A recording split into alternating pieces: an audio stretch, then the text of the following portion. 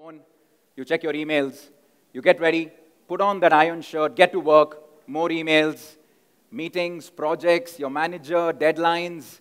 You come back home, and there are probably more emails and meetings awaiting you. Sleep, wake up, repeat. Sleep, wake up, repeat. And this would go on year after year after year. And this was my life for almost 10 years. And the only silver lining that it happened to be with one of the best employers on the planet. And so on most days, instead of the iron shirt, shorts and a t-shirt would do as well. Right? And uh, generally, you didn't have much to complain about when you spent 10 years at Google. But even then, I just felt something was missing. Right now, I'm not here, before I get started, I'm not here to tell you, do the regular corporate bashing, give you cliched stories of how I quit my 9 to 5 job to pursue my passion.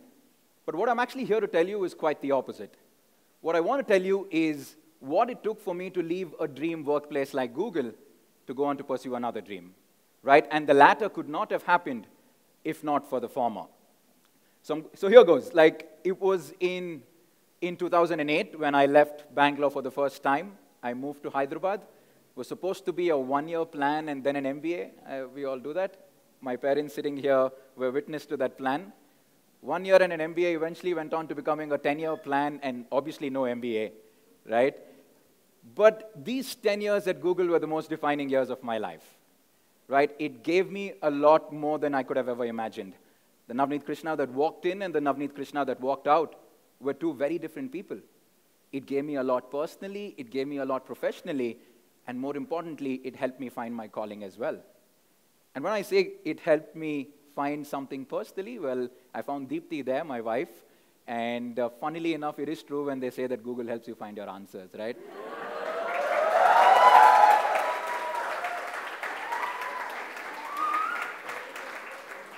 so it was um, in one of these days in my Google tenure that I happened to hold the mic for the first time in front of an audience very much like this. And you know what the event was? It was a fun do manager event. You make fun of your managers and give away fun awards. Now tell me which other company you can do that, right? And that was what I was doing. It was fantastic, came out well. That led to me doing another event and then another and then another. Did some interviews. I started to commentate internal sports events. And suddenly, I started to realize I like holding the mic. And through all these years, school, college, and then Google, there was one thing that was constant in my life. Much like many of you sitting here, millions in this country, and that was cricket, right? And the words of Ravi Shastri, for example, in the center would echo in my, in my mind like, Namaskara, Bengaluru. It is toss time here at the Chinnaswamy Stadium. India versus Pakistan, and the atmosphere here is absolutely electrifying.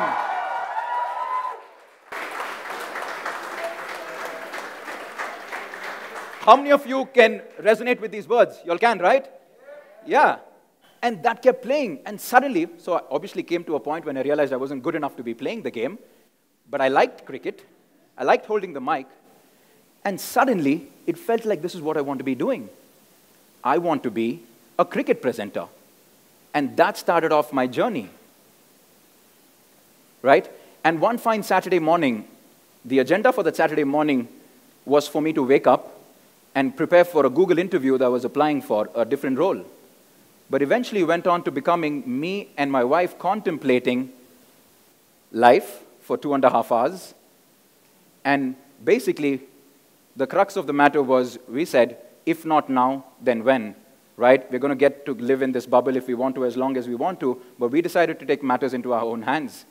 And we took what is probably the toughest and the biggest decision yet. We took the plunge. I quit Google right? And as they say, the rest is history. These 18 months have been a roller coaster for me in every sense of the word. Several highs, several lows, plenty of rejections, but more importantly, some of the biggest life lessons that I've taken away. And I'm going to take this opportunity to run you through a few of them. Yeah? The first one the power of visualization. This has to be the most powerful of them all, right? we all have that image in our mind, something that tells us, that visualizes where we want to be, what we want to be doing. Every single one of us have that image, and it keeps popping up every now and then. I have that image. Each and every one of you have that image as well. And in most cases, that one image will be your guiding light. That one image will more or less dictate how you want to be doing things. And in reality, it's that one image that will make this dream a reality. I have that image, you have that image. We just need to keep asking that question. What was that image for me? You know what they say about keeping your dreams limitless, not putting them in a box? Ironically, my dreams were limitless, but it happened to be in a box. The commentary box. Right? So, no surprises. And when I was watching cricket through all these years, right, every time the camera would move to the commentary box, there was something in me, that voice that said, You can do this. You want to be doing this. Right? I grew up idolizing the likes of Harsha Bhogle, Ravi Shastri, Tony Greig. We've heard all of them, yeah? Of course, right? And there was the little thing that every time my wife would see the commentary box, and she's like, Why aren't you there? Aren't you supposed to be there? So we had this little thing going on as well, so it just kept growing on me, right? And that was that image for me. And that gave me some sort of direction. It made it clear. It sort of gave a path to me, right? And I, speaking about Harsha Bhogle, well, this happened quite recently. I had the opportunity to, um, I had the opportunity to meet with the man himself, and uh, he had a few good things to say. Um, he apparently said I have more swag than him, so I'm, I, I will take that compliment. But I'm just coming back to the point. The point being, what is that image? We all have that image. And it's only a matter of just constantly questioning that. So that's number one. Number two, just do it. I'm obviously not here to promote any sporting company, right? When was the last time you did something for the first time? We've heard that line, yeah? And when we actually put that into use, we'll realize how impactful that line is. Every single one of us are guilty of deliberation, are guilty of contemplation, and we don't take action. And the second we realize when we take action, it's actually a lot easier than we think it is. Right? And it almost feels like this is how it was supposed to be. It was meant to be this way. Right? It doesn't have to be perfect. We start small, we start scrappy. We live in that what will people think generation. We'll keep that aside. We really don't need to. Because when you start taking action and stop deliberating, you'll start realizing the beauty of this, the byproduct of taking action you start getting opportunities from avenues you absolutely didn't know existed. Right? And much later on, much later on in your journey, when you connect the dots backwards, you'll realize that the best thing that you did was actually taking action. Right? And that's why this is so powerful. It's as simple as it is, just do it. But I started to realize that. And I had plenty of firsts in my journey in the last 18 months as well. And one of the biggest firsts that I had, and I'm glad I took that call at that time, about a year back before the IPL, was I said, I'm going to put out a YouTube channel and create cricket content. Not for anybody, for myself. Right? That was the first. I never thought I would put myself out to the open, to the public, but I did that. There was apprehension. I got over it and I did that. So I did something called as Quick Single, where I do bite sized information on cricket. And that is what led to another opportunity and then another, and then another. And I keep asking myself, how did I get this? Maybe it's because I just took some action, and that has been my biggest learning, right? I went on to emceeing a wonderful school event, and then the Karnataka Premier League. A little story over here. A few years back, I went and approached them. They didn't know who I was, right? Obviously, I didn't get the role. And this one, they reached out to me saying, go ahead and do it, right? So these are the small turnarounds that actually do happen, right? So the biggest learning for me, and I'm sometimes still guilty of contemplation and deliberation, and I'm still learning, progressing on that journey, but I think the biggest learning is we just got to take action, right? None of us live perfect lives. We all have challenges, we all have obstacles, plenty of rain, the occasional thunderstorm as well, right? It's not going to be easy. We are on our own in many ways. There's no manager, no project, no deadlines. Sounds like the perfect world. Actually, not. The lack of structure, the ambiguity is what is going to get to you. It's going to be challenging. Self motivation, that's going to be put to test. Right? And you suddenly realize that you're getting rejected. Not once, not twice. You get re- you're getting rejected constantly. You're disappointed, you're dejected. And over time, you start to learn from these rejections, right? And you start to get rejected. And you're a nobody in this new field. And you start to wonder whether your self respect is being compromised in the process. You're trying to get time from people, you're messaging them, they don't respond. You're trying to call people, hoping to get some time with them in person. They don't know who you are. Why will they give you time? So your calls go unanswered, right? And all of this happens, and over time, you get through this journey of rejection, and you start to realize that you can learn a lot in the process as well. Right? That's one. You get used to rejection. We just need to stay patient through those rainy days. It will happen. Right? And you also, when you put yourself out in the public to the open, you have the hate of the internet as well. Right? People if you're going to take the positives of what people say, you very well be ready to take the criticism as well. And we live in a wonderful, empowered world where everyone can say anything that they want to. And we have people who are superstitious as well. I have people telling me this. Apparently, why RCB is losing is because of me. Right? Look at this. Please remove this person who's hosting 12th man. I think he is unlucky. Right? We want Mr. Nags, at least we were winning a few matches back then. Right? You start, you start getting messages like this. What do you do with this? How do you handle this? Then you have different kind of people as well. People who would say something like this. Exactly, that was, that was my reaction. That was my reaction on day one, that was my reaction on day two. And then you start realizing that I'm laughing at it just the way you guys are laughing at it. Literally, over time, overnight, you're going to get through these phases. You will learn very quickly how to handle. There are things that you will observe, there are things that you will deflect right? But we have to stay patient during times when things are tough. There were times when I would sit in my house when nothing was working out, staring into outer space, and nothing is happening. And the dreaded question in my mind will it work out? My wife is at work, and I'm sitting there at home trying to figure out what I need to do. I don't know who to talk to, how to go about things, and we will have those days. Those are the rainy days that we need to be patient. We need to be patient. Right? And one fine day, I even went to the Google Careers website as well.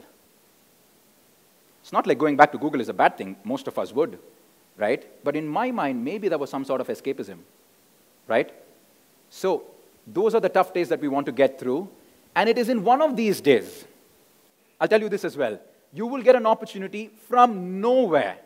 Suddenly you get a call, and suddenly life seems to be a perfect place. And you have answers to most of your questions. That's only because you took action and you waited and you were patient through the rainy days. Right? So it is going to be tough, but we just need to hang in there. I think this is very important. Some of our speakers already alluded to this topic. None of us are alone in our journeys. Not me, not you, none of us. We don't need to assume that the world's responsibilities are on our shoulders. Right? We have amazing people around us, people who we can seek help from, people who will add value to our lives, people who will give us direction, right? And if we don't seek help, we will not get it, right? Sometimes it's all bottled up in our mind, but we just let it open, speak to other people, and for all you know, we're, right on the, we're on the right track, right? So just finding your mentors, maybe people who can add that value. I had my mentors at Google, and I have my mentors even now as well, people who can help me out in, based on the situation that I'm in, right? And Vineeth Vincent is sitting right here. Some of you all obviously know Vineeth Vincent, right?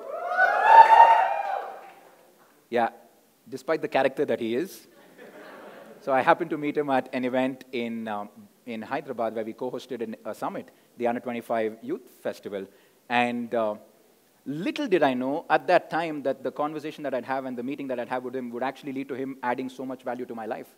And every time after I quit Google, any question that I had, how do I do this? Hand express, my, ha my hand movement, my expression, beneath how do I put up stuff on social media, blah, blah, blah. I would just go on and on, and he would give me his answers. Right? He started to add value, and I started to find such people. I have people like that in Singapore. I have people, I try to find people who I can bank on, people who can help me through this journey. Right? And very often, I'm sure most of you will agree, when you all read books about some of the most successful people, and um, when you watch some of these documentaries about their lives as well, there's one thing that, there's that common denominator, and that is being grateful. Right? And I kept wondering why. What is it being grateful? What is it? And I started to realize that I'm actually doing that in my day to day life as well. It automatically happens. You're just very thankful for who you are, for what you have, and for who you have. Have my parents sitting right here who have been most supportive no matter what decision I've taken, despite everything else that's happening around us. Right? So I thank them for everything right? And And there is someone sitting in Singapore who goes to work every single day, not enjoying what she's doing, but doing it just so that the two of us can go through this journey and make our dreams come true. And she's the one who keeps me accountable, and she's the one I'm pushing hard for. So the biggest thank you goes to my wife every single morning.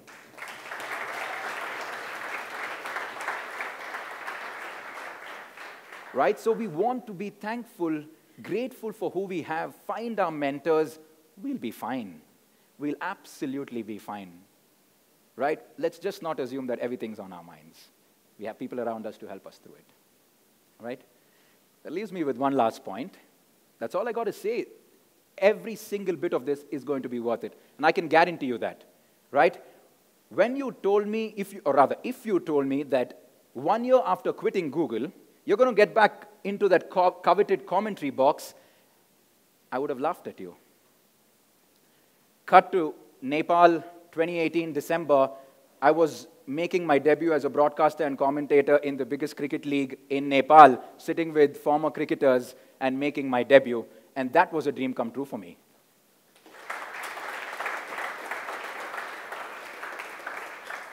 and my wife sitting there in Singapore watching me on TV for the very first time, goosebumps, that couldn't have made me happier, right? And that's what we live for. If you had told me that one and a half years after quitting Google, I'll be the face of RCB 12th Man TV, talking to millions, being the voice of millions of RCB fans, I would have laughed at you. But guess what? It happened.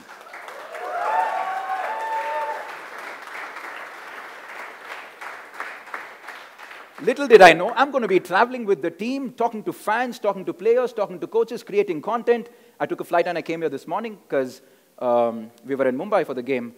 I'm taking a flight tonight back to Calcutta to, back, to be back with the team. Unfortunately, a dreadful season. We'll come to that a much later time. How many RCB fans do we have here?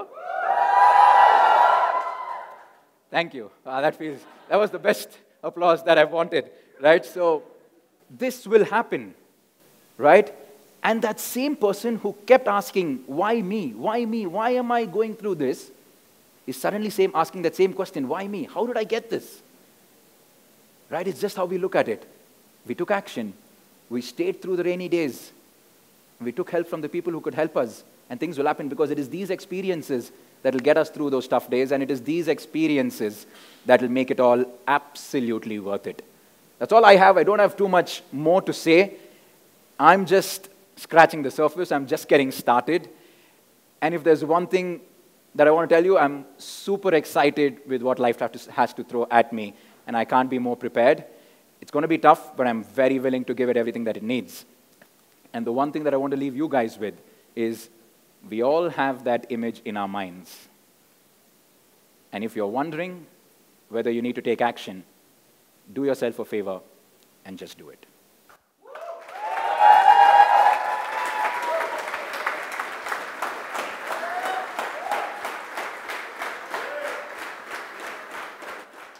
Right on the stroke of buzzer. You guys have been a great audience. Thank you so much, ladies and gentlemen. Thank you.